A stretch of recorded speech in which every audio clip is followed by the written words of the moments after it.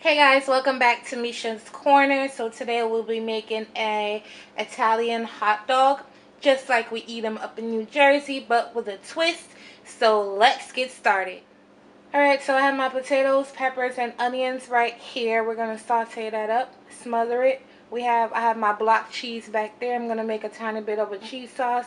And I have my sausage. You can use the brand you prefer. I used actually the cheapest one I found in the supermarket, which is Heritage.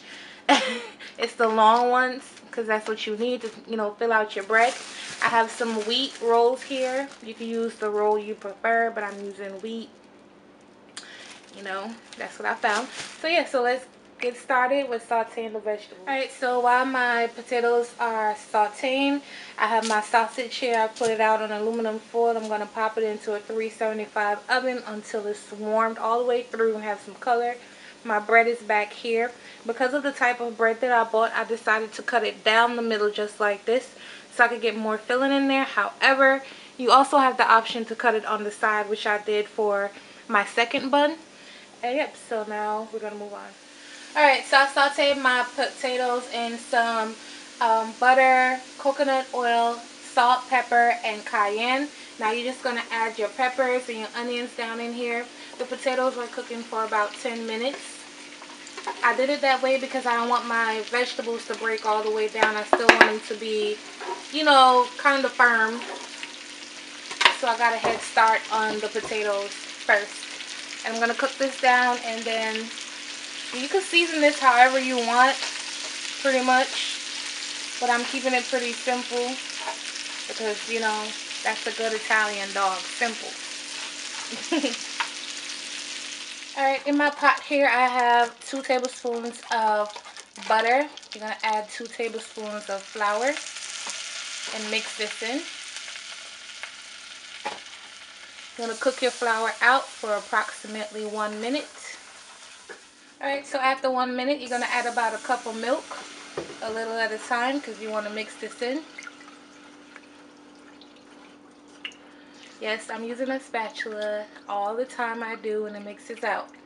So cold milk to hot brew, no lumps.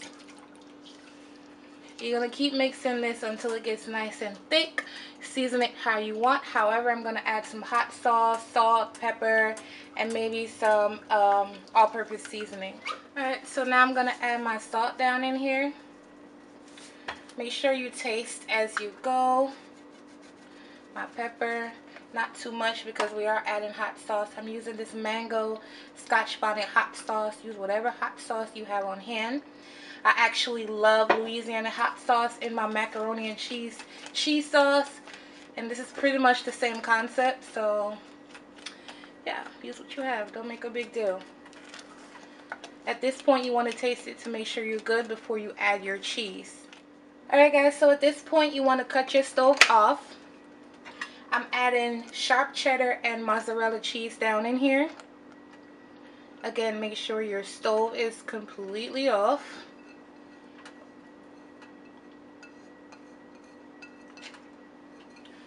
I'm just making a mess. I'm just making a mess mix this in it's gonna become nice and cheesy. Mm -mm -mm. look at that. We're gonna put this right down on that hot dog. Right down on there. All of it. Look at that.